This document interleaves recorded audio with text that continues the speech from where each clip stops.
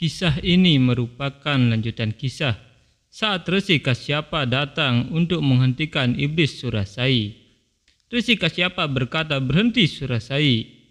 Melihat Resi Kasyapa datang, Surasai berkata, Hebat suami, kenapa kamu ada di sini hari ini? Anda telah memilih waktu yang tepat untuk datang ke sini. Resi Kasyapa berkata, Anda tersesat Surasai, Anda telah menyimpang dari jalanmu Surasai. Tapi aku di sini sekarang. Aku tidak akan membiarkan ini terjadi. Aku datang ke sini untuk menghentikanmu. Menghidupkan makhluk yang sudah mati adalah dosa besar. Dan aku tidak akan membiarkanmu melakukan dosa itu. Suresai berkata, Aku akan mendengarkanmu suami. Aku akan mengikuti perintahmu. Karena aku melakukan kesalahan dengan tidak mematuhi perintahmu. Tapi aku tidak akan mengulangi kesalahan yang sama. Setiap orang belajar dari kesalahannya. Aku dilarang melayani Anda selama bertahun-tahun, tapi hari ini aku ingin melayani Anda. Aku mempunyai sebuah permintaan. Tolong beri saya kesempatan untuk memperbaiki kesalahan saya. Resi Kasyapa berpikir, bagaimana saya bisa percaya padanya? Tetapi jika seseorang mencoba untuk memperbaiki kesalahan mereka, mereka harus diberi kesempatan. Surapatman berkata, Ayah, salam. Hari ini Anda telah datang ke Mahendrapuri untuk pertama kalinya. Tolong hilangkan keraguanmu dan menerima permintaan ibu. Tolong beri kami kesempatan untuk menyambut Anda. Resi Kasyapa kemudian menerima sambutan dari Surasai dan masuk ke dalam istana. Saat itu Dewa Yama dan Wiswakarma yang merupakan mertua dari Raja Iblis Surapatman berdiri di depan gerbang untuk menemui Kartikeya. Melihat itu Raja Iblis berkata, ini mengejutkan. Kepada siapa mereka menunjukkan rasa hormat dengan tangan terlipat dan berdiri di depan pintu yang tertutup. Dewa Yama berkata, kita telah ditawan di sini sesuai keinginan kita untuk melindungi putri kita Padma dan Wibuti. Tapi waktunya telah tiba untuk bebas dari asura ini tanpa mengkhawatirkan apa pun. Wiswakarma berkata, kedatangannya meningkatkan kepercayaan diri kita dia akan melindungi putri kita dengan melakukan apa yang dia lakukan. Jadi untuk mendukung Prabu Kartikeya kita harus pergi dari sini. Dewa Yama berkata, Anda benar Wiswakarma. Saya juga harus menjunjung tinggi gelar saya sebagai Dharma Raja. Mereka kemudian keluar dengan menyebut nama Kartikeya. Mereka menghadap Kartikeya dan Ganesha. Wiswakarma berkata, putri kami telah ditangkap dan dipaksa untuk menikah dengan Raja Iblis dan saudaranya. Untuk memastikan keselamatan mereka, kami tinggal di sana meski bertentangan dengan keinginan kami. Dewa Yama berkata, Prabu Kartikeya, dengan Anda di sini kami yakin bahwa apa pun yang terjadi itu akan benar. Jadi tidak perlu khawatir konsekuensinya. Kami hadirkan diri kami kepada Anda untuk melakukan apa yang benar. Kami akan berada di sisi Anda sampai akhir pertempuran. Wiswakarma berkata, Tuhanku, aku yakin bahwa dalam pertempuran ini kejahatan akan kalah dan kebenaran akan menang. Ini akan memakan waktu untuk memastikan istirahat para tentara dewa serta untuk perlindungan dari iblis yang bisa menyerang di malam hari. Izinkan saya untuk membuat benteng baru. Saya terpaksa membuat istana untuk iblis itu. Ini akan menjadi penebusan dosa saya untuk itu, Tuhanku. Wiswakarma dengan kekuatannya kemudian mulai membangun benteng untuk para dewa. Benteng itu dibuat di depan Mahendrapuri untuk melindungi para dewa. Di istana iblis Surasai sedang melayani Resi Kasyapa. Surasai berkata, Suami, setelah sekian lama saya mendapat kesempatan ini untuk membasuh kakimu dan melayanimu. Saya sangat diberkati. Surasai kemudian meminum air cucian kaki itu dan melihat itu Resi Kasyapa terkesan dan percaya bahwa Surasai telah berubah. Surasai berkata, dengan air ini saya telah membersihkan diri saya. Tolong berkati saya suami, semoga saya muncul sebagai pemenang atas musuh saya. Resi Kasyapa berkata, tentu, semoga kamu berjaya. Muki yang melihat itu berpikir, mengapa ayah memberkati ibu dengan kemenangan? Mendapatkan berkah itu, Surasai menjadi tertawa dan berkata, Suami, kamu sangat polos. Kamu jatuh cinta pada kata-kataku dan memberi apa yang aku inginkan. Mendengar itu Resi Kasyapa bangkit dan berkata, Jadi pelayananmu ini dalam menyapa saya dan membasuh kaki saya, apakah itu hanya kebohongan? Surasai berkata, Tidak suami, ini adalah sihirku. Seperti yang anda lihat, air ini masih di sini. Resi Kasyapa berkata, didorong oleh emosiku, aku ditipu olehmu. Makhluk keji sepertimu tidak akan berubah begitu mudah. Saya seharusnya telah mengetahuinya.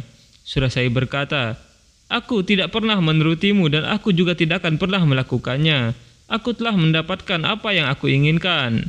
Resi Kasyapa berkata, Ini akan menjadi hukumanmu untuk membangkitkan iblis mati. Mereka akan bangkit untuk melawanmu.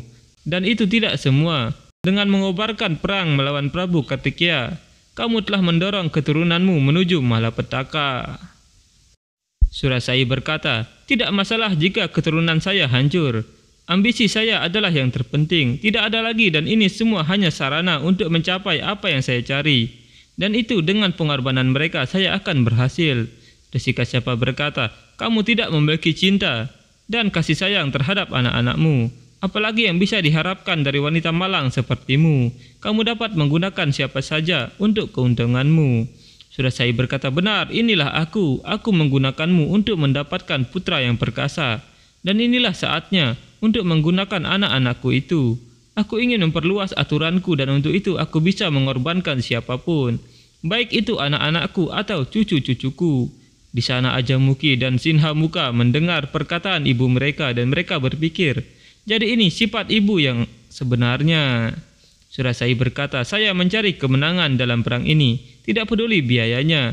Yang saya cari hanyalah kemenangan. Sinha Muka terguncang dengan apa yang dia dengar. Sehingga dia pergi dari sana. Surasai berkata, jika anda ingin mendukung kemenanganku ini, maka anda boleh tinggal dan aku akan memperlakukanmu dengan baik. Jika tidak, maka anda tahu jalan keluarnya. Resika siapa kemudian pergi dari sana dengan amarahnya. Saat itu benteng para dewa telah selesai dan Kartikia berkata, Arsitek Dewa Wiswakarma, Anda telah membuat benteng yang besar. Tentara kita bisa beristirahat di dalam, tapi kita harus tahu tentang senjata yang dibawa musuh dan formasi mereka bersama dengan kekuatan elit mereka. Wiswakarma berkata, Tuanku, izinkan aku untuk menyampaikan tata letak Mahendrapuri dan istana mereka. Tapi senjata dan formasi musuh semua diciptakan dan dikendalikan oleh Surasai sendiri.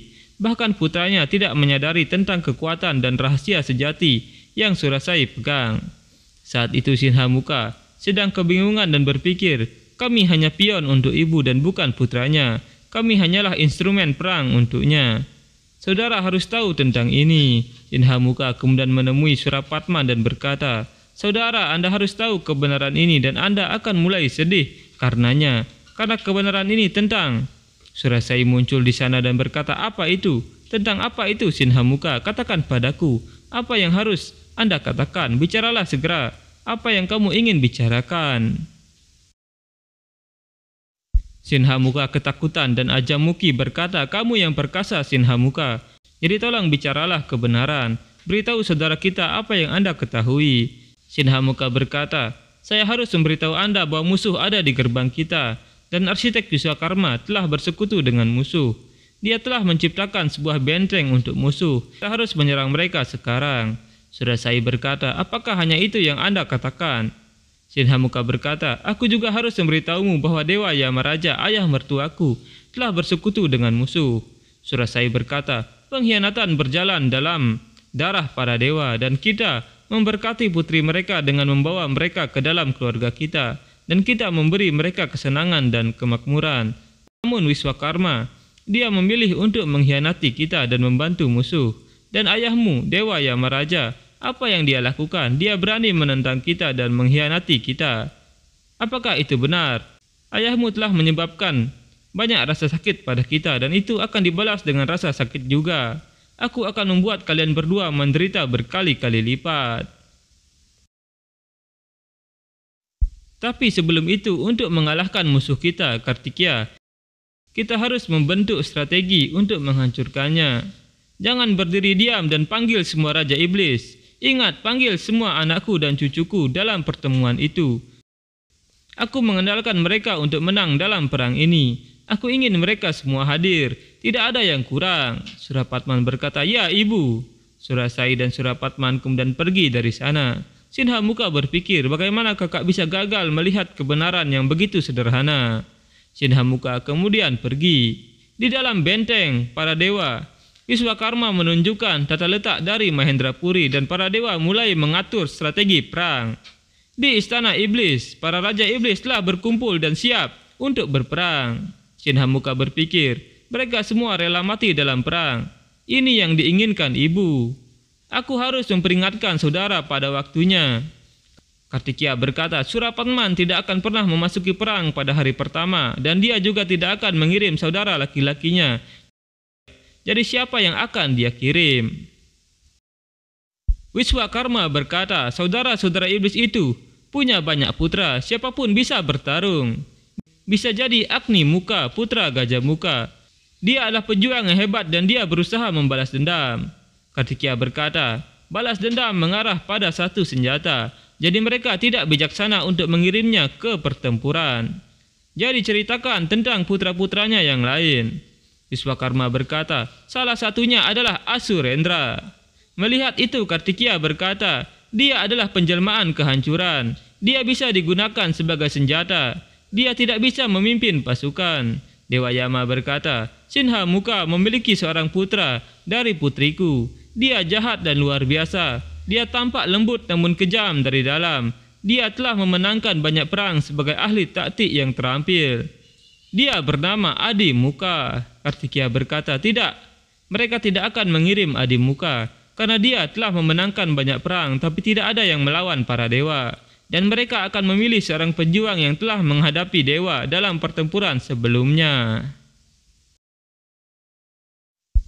Dan tidak peduli siapa yang mereka pilih, tidak peduli siapa yang mereka kirim, kita harus menyusun rencana pertempuran. Di istana iblis Surasai melihat mereka semua dan berkata, katakan padaku di mana dia. Apakah anda tidak mendengarkan saya dengan baik? Saya telah meminta semua keturunan saya untuk hadir di sini. Jadi mengapa Banu Gopan tidak hadir di sini? Di mana dia? Raja Iblis berkata, Ibu, dia sedang memuja Dewa Siwa selama sebelas hari. Surasai berkata, tidak ada ritual yang lebih besar dari tugas ini. Dia telah memperoleh senjata sakti dari meditasinya. Jadi mengapa dia harus berdoa lebih jauh? Panggil Banugopan sekarang. Dia akan pergi berperang dan mengakhirinya sebelum perang dimulai. Mengetahui semua itu, Ajamuki berusaha pergi dari istana. Tapi Surapatman mengetahuinya dan ingin membunuh Ajamuki. Dari kejauhan Surapatman memanah Ajamuki dan panahnya menusuk punggung Ajamuki berkali-kali.